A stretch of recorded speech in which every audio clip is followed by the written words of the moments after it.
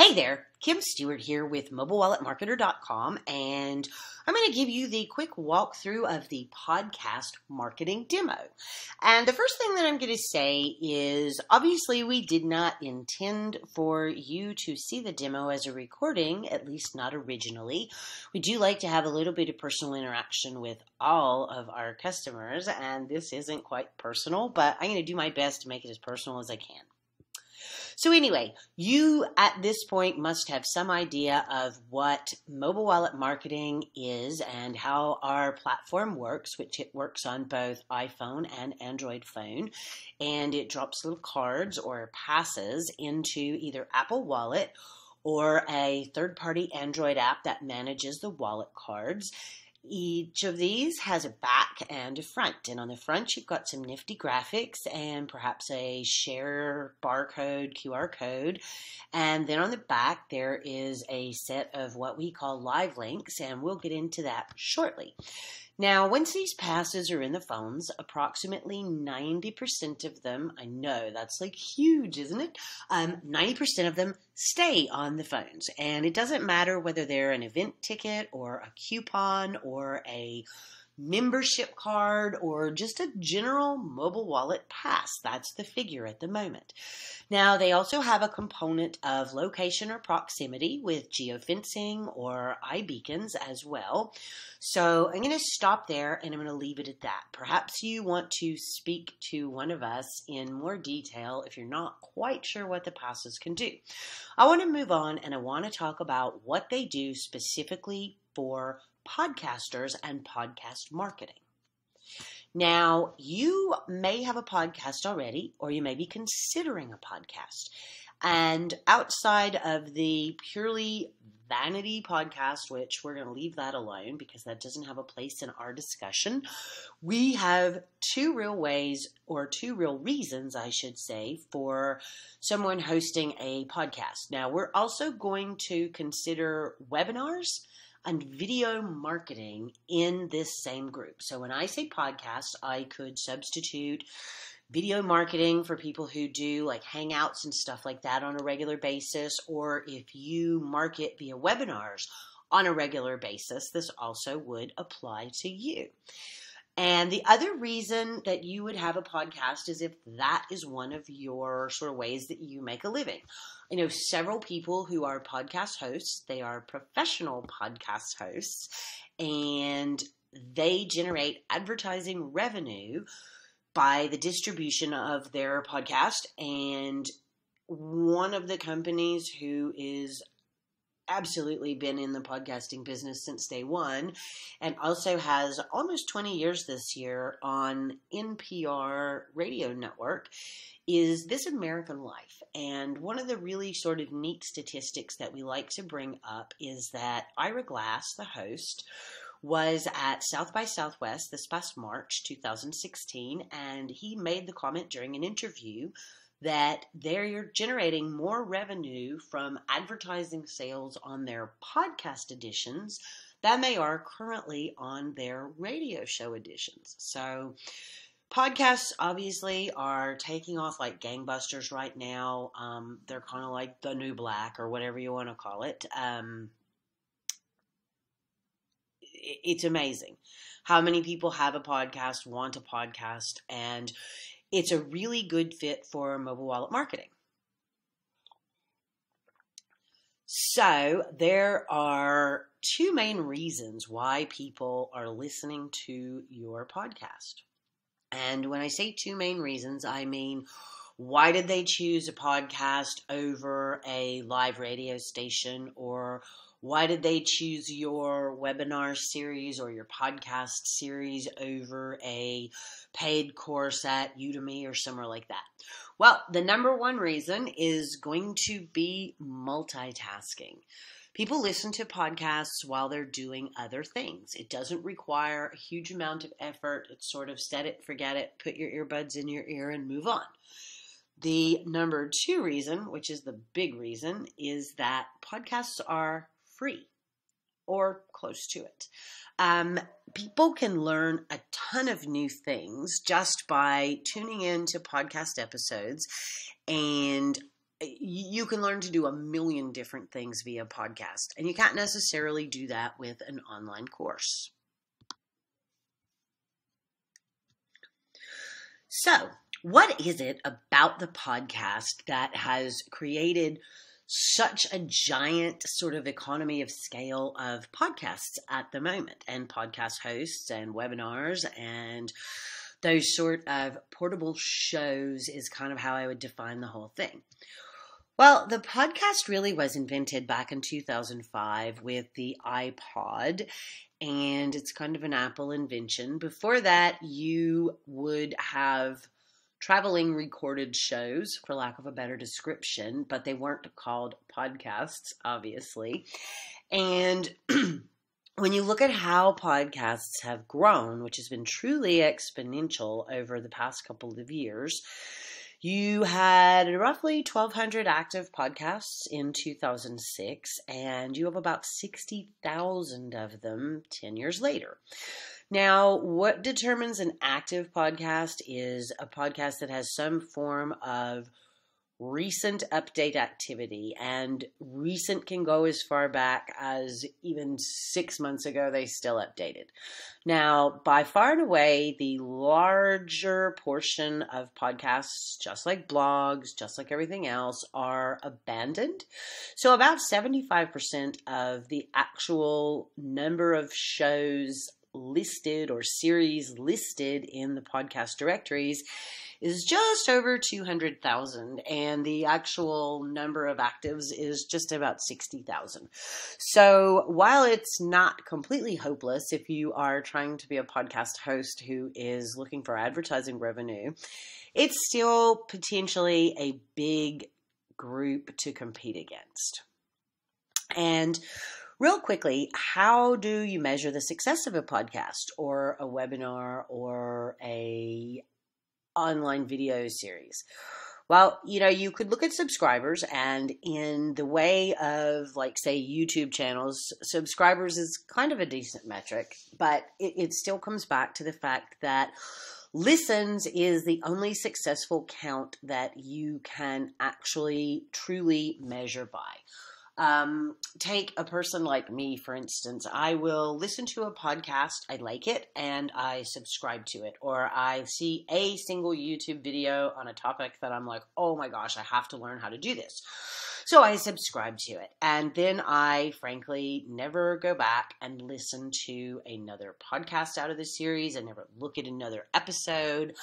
Um, you know, this is it's a fairly common problem. It's the same sort of app attrition situation that we saw when we worked with the app developers a few years ago is that the churn, which is where someone comes in and initially they're there and then they just disappear, they fall off. The churn rate is absolutely horrid. And probably the most important thing that you can do with mobile wallet marketing is slow down the churn rate for your podcast or for your webinar series or for your online video marketing series or for anything you have that is repetitive where you tend to see fall off after a period of time. You know, this applies to online courses, online coaches. We have a whole other demo and a whole other podcast episode and stuff about that. So I'm just going to stick with podcasts for the moment. So, anyway, what you need to know is how many people are listening. Everything is based on how many people are listening. If 50,000 people have subscribed, so to speak, to your podcast or to your video series, and only five of them ever show up and watch another one. Well, the number of 50,000 really doesn't mean anything at all, obviously. So, one of the other really cool things that you can do with your mobile wallet marketing passes while you are building your churn rate reduction for listeners or viewers or whatever you're going to call it is that you can also use these to help build your social media presence. And we like to look at all marketing as omni-channel marketing. So it kind of all hooks together. And in our view of things, the mobile wallet marketing pass is sort of that centerpiece, that hub where you can build into and build out from. Once you get a pass into a phone, about 90% of those passes are going to stay in the phones. So you have kind of what we consider to be a captive audience. And by putting the links on the back in a prioritized order. And remember, you can change the order of the links, you can change the links, you can change the verbiage for the links you can make all kinds of changes to the links. That's not a big deal. So maybe I want to run some Facebook audience targeting campaigns because I'm going to run a Facebook campaign to get more people to watch my podcast. So I'm going to take my existing user base that I have with my mobile wallet marketing passes. I'm going to rearrange my passes so that social media becomes more of the focus on the back. And what I'm going to do is I'm going to send out an update notification, and everybody who's already got the pass installed is now going to know hey, have you followed me on Twitter? Hey, are you a fan on Facebook? Hey, are we connected on LinkedIn?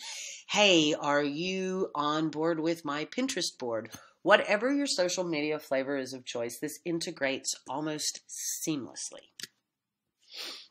The next thing I want to talk about, and I mentioned this briefly when we were talking about social media, is the automatic updates. Now, anytime you have an update to either a location or a time sensitive update, it's going to push out directly to the lock screen. And what I have here is a screenshot of a lock screen on the iPhone. And the first one is a location based message, and the second one is a time sensitive message. And the second one is actually one of our podcast updates. We do some work with several different industries, and this was an update that was sent to the lock screens when we had a podcast update. So that's really simple. In our case, it's basically once a week every 10 days when we launch a new podcast the update goes out and you can see the front of the pass and the back of the pass from the lock screen. You cannot do anything actively on the pass without unlocking the phone. But by then, I already know, oh, hey, this is fabulous. So and so has a new podcast and it's ready and I want to listen to it. So I can either listen to it right then or it's in my head that I should listen to it. And I don't have to wait for the next time I log into iTunes to see it. So, if you are ready to get started today using mobile wallet marketing, we can have you engaging your listeners, I'm going to roughly say tomorrow. And mobilewalletmarketer.com is the URL, and there is a side navigation. You can go to it and you can select podcast podcast marketing platform plan, and we'll get you set up currently we're running a really nice special on it and um, we'll go back to regular prices probably within the next 30 days or so. So get on board with that. Otherwise i'm going to continue talking about why you want to market your podcasts with mobile wallet marketing passes. I'm going to give you a really quick look at the easiest and most effective ways to do this and we have what we call the five steps to success which is notification, churn reduction, the call to action, the ability to link to any content that you want, and the ability to launch apps directly from the back of the pass. That is exactly what I said the ability to launch apps directly from the back of the pass. So, what happens is lock screen notifications let your listeners know that you have a new episode. This encourages them to listen in, especially to listen in now, to listen in the first chance they get. This will reduce your churn rate significantly.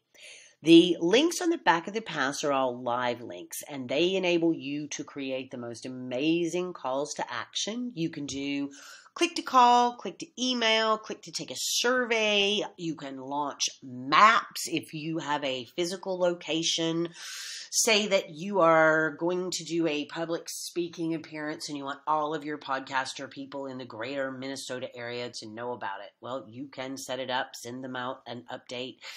and send them a link with the address on it. They can pop a map and they can drive right over to where you are. Uh, you can also launch directly from the back of the pass. You can launch Stitcher, you can launch TuneIn, you can launch iTunes, YouTube, Vimeo, all of your social medias that we already talked about. If you are an app marketer, you can use your podcast to talk about your app, and then you can use your mobile wallet pass to actually send people to the App Store or the Google Play Store to install the app from there. Super simple. So, here is what I like to call the anatomy of a pass. We have the front where you have your logo, the graphic, the headline text, and then we have the back, which is where you can see the automatic updates, the lock screen, and then you see your sort of list of links and CTAs. And anything you want to put on there is fair game as long as it doesn't violate Apple's terms of service or the law where you happen to live. Um, so here, like I say, front of the pass, back of the pass, super simple. All of these lines of text are immediately updatable, easily updatable. Here are a basic list of things you might find on the back of a pass. Oh my gosh, doesn't this sound like, oh, what is that game show, Family Feud, or something like that? Anyway, number one, direct links to your podcast platforms and episodes. Number two, links to other interesting content. Number three, contests or other promotions. Use the mobile wallet marketing pass to drive interest and engagement to these type of things. You can put in links to offers for your own products, your own courses. Um, I watched a marketing campaign about a month and a half ago. One of our clients did, and she did it for a friend of hers who also has a very large. Um, kind of an online course, online coaching, whatever you want to call it. But they ran a sort of a dual campaign for the online course that was upcoming. And um, it, it, was really fantastic because she had all of the bits integrated. She had the social media, she had the email, she had all, all the different pieces were actively involved in promoting an advocate promotion. I'm, I'm going to call it that. You can have people call you directly from the back of the pass with one tap. They can email you. They can launch your social media, like we already talked about. We've talked about maps. Um, almost anything that you can launch from a URL can be launched from the back of a pass. So, quick question here. Are you old enough to remember this? It's Bryant Gumbel and Katie Couric, and they are talking about email. And this was on the Today Show one morning. Um, gosh, I think it was back in 1995. Anyway, if you remember it, great. If you don't remember it, I'm going to get to it in just a second. But pay close attention to the bottom where it says, does the at symbol mean at or around? So let's take a real quick minute, talk about the ROI of mobile wallet passes. And I'm going to break it down for you. It's super easy to see how you can achieve your goals for your podcast with a little bit of help from mobile wallet marketing. You can build your user base. I have talked about reduction of churn again and again and again, and how you can encourage users to listen to more episodes more often. If you are using your podcast with sponsors, how great would it be if you could add an extra mobile wallet marketing pass that was something that reflected a sponsor, or maybe you just put links to your sponsors onto the back of your mobile wallet marketing pass. Whatever it is, however you work it out, that is between you and your sponsor, but the platform does have the ability to enable those type of things. Um, the lock screen is a really subtle situation. The lock screen and wallet combination mean that it's not super duper in your face. Um, you know, it's not like a big giant advertising thing. It doesn't make bells and whistles go off. It's just sort of an unobtrusive pop up and it goes away after a while if you don't hit it. And then if you have users that are Apple Pay aficionados, every time they go in to use their Apple Pay or they go in to set up their credit cards or whatever, they're going to see sort of that subliminal messaging. Same thing with the lock screen. I call that subliminal messaging. You know, it's like that popcorn thing that the movie theaters used to have going on. Um, another brilliant thing here is you don't have to wait for somebody to open an email in order to know that you have a message or an update. You don't have to wait for them to get it. You don't have to hope that it misses their spam folder, yada, yada, yada. So, maximum effectiveness. I told you before that we're looking at about a 90% retention rate in the phone. Once that pass goes in there, whether it's for a trade show event ticket, whether it's a mm, podcast marketing pass, whether it's a coupon for 25% off something at a particular restaurant or store or salon, 90% of those we find stay in the phone. And realistically speaking, this is comparable to the response rate for SMS messaging. It's about 15 times more effective than email alone. And the one thing that it does have that SMS messaging does not have is that you pay per message with SMS, you pay per month with mobile wallet marketing. So if you're sending out 500,000 update messages to your 500,000 subscribers, I can guarantee you that the cost effectiveness is so much better than sending out 500,000 SMS messages. It's insane. So, the other part about the cost effectiveness is you can pay as you go by the month. We have a very reasonable monthly subscription plan, or you can opt for the annual option if you want to. There's a little bit of a discount in there if you go that route. Um, upgrade, downgrade as needed. If you are on a plan where we offer X number of updates per month and you need twice that many, come to us, tell us, we'll work something out. It's really simple, it's really easy. Most of the time, we'll just give it to you if we possibly can. So, there's only one conclusion here, and that is that there is no more effective method of marketing your podcast than by using mobile wallet marketing passes. You simply cannot directly access people using their mobile phone in a manner which is the lock screen notification that's going to be noticed but not going to generate resentment or sort of that blindness. You know, I mean, I probably get 600 emails a day, and I can tell you right off, I probably don't even see 550 of them as I'm deleting them. Do you have enough listeners? I mean, really? Can you ever have enough listeners? People that actually show up and listen, not just subscribe and never come back? I mean, if you do, then obviously you don't need to consider mobile wallet marketing passes and you don't need to spend any money marketing your podcast. And you know what? Mobile wallet marketing, it is probably a fad, just like email. You know, this is um, why I showed you that picture of Katie and Bryant because they sat there on TV and pretty much said they really didn't understand email and that it was probably a fad. And now here we are 20 years later, and oh my gosh, what's the greatest, latest thing in email? Millennials have discovered email. So if you're a millennial, no offense, but everything and anything can't always be done in 140 characters or less.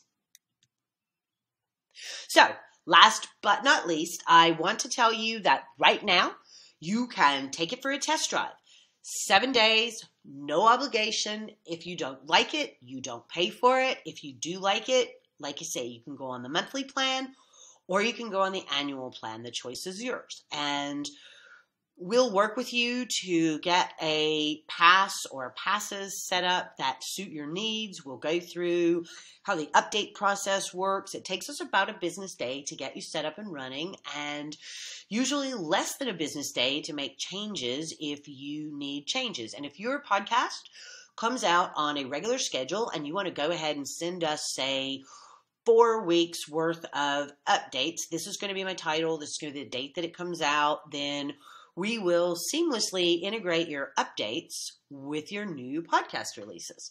So, anyway, talk to us. It's mobilewalletmarketer.com. I'm Kim Stewart, and this has been the podcast marketing passes not live demo.